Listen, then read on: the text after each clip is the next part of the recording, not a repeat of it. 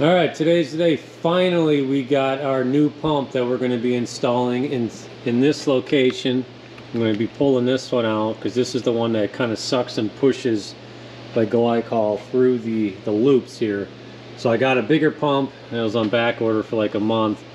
So a month and a half later, I got the new pump. So I got to take this guy off, unwire it. I'm going to have to adjust some of the uh, the PEX here and I'm probably gonna have to refill this system just in here because I'm gonna lose some. Because this pump is hold on a second bear with me is uh, oh boy substantially bigger. So it's gonna have to be adjusted but it's it's definitely bigger so we'll see. Not much. I got to move it over so I'm gonna have to redo some things here to get that boy up there. But uh yeah so I would put a time lapse on for you could see it but I don't know. Who knows how long it's gonna take.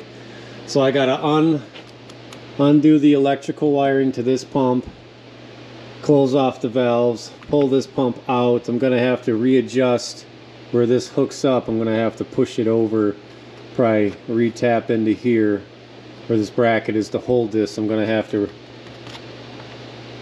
get a longer piece of PEX, which I have, extend it over and up. So yeah, we'll see. So I'm excited because we got snow and there's probably almost, it's for sure an inch, maybe an inch and a half, almost two inches out here. So I got to get going on this so I can get that melted. We're expecting, um, they said like three to nine, so who knows? But if I don't get going on it, it's going to be a mess. So, yeah, uh, next time you see, I should have the pump up there. I'm not sure how long it's going to take, and then I'm going to fire it up because the biggest reason why I'm getting the new pump is to try to up the flow rates because I have 10 loops to see if I can get the flow rates to be faster. That way I can get the glycol to go out there at a quicker rate to heat up the glycol coming back at a faster rate. So the wood boiler is not running as much to try to keep up because it kind of struggles a little bit, but it does get up to temp. I'm just trying to get it up sooner. So we're using less wood, less electricity of the pumps running and so on. So yeah, like I said, I'm going to get this going here quickly and uh, we're going to see see how the new pump does. So stay tuned. Okay, well, we got it in there. She's definitely a bigger pump. I mean, it's hard to tell obviously in the, in the video here, but she's she's bigger. I had to take this bracket, move it over. I had to put a different piece of PEX here, probably about this much longer to get it to fit. So I had to take these out, redo that, get it lined up. I mean, she's running right now, as we can tell, no leaks. But I did have to, I thought I bled the system good enough because I had all this shut off down below here and then I, I, turned that snow melt on after I thought I had it bled and you could just see the air just pump right into the line. So I had to re re-bleed all the all the snow melt lines that go into the concrete individual. So I had to shut those off. So I bled the whole manifold then did uh, this loop here shut all that off do the main loop up top here where all this is I did all that about twice to make sure all the air is out.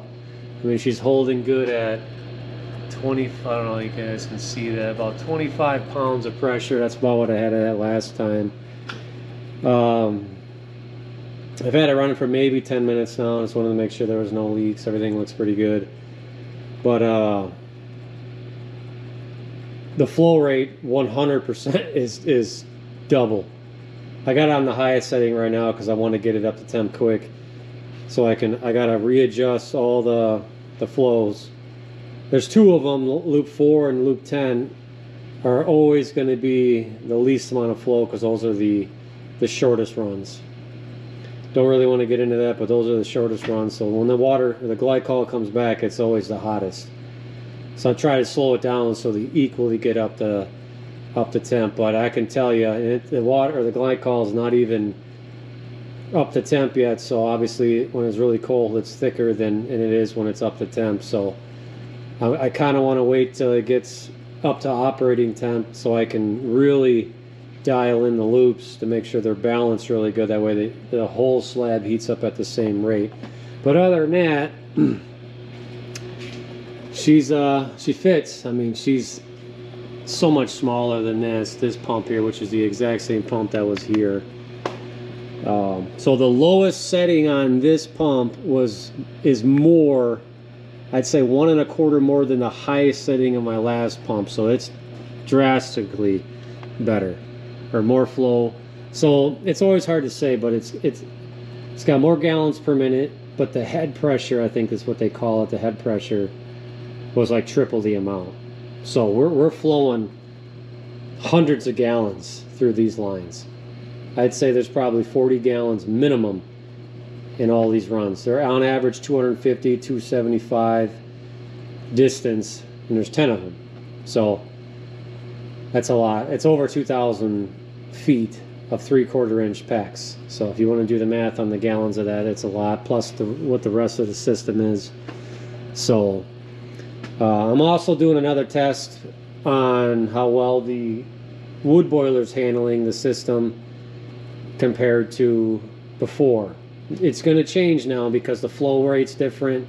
I did add another uh, tank, so I have two tanks instead of one on my system over there, so I'm kind of calculating that. But I know getting the flow up. I mean, she's almost she's cruising right now, so I'm I'm pretty happy. I mean, we'll probably be up to temp within the next 10 minutes, but this pump is just as quiet as the other one, which I'm surprised.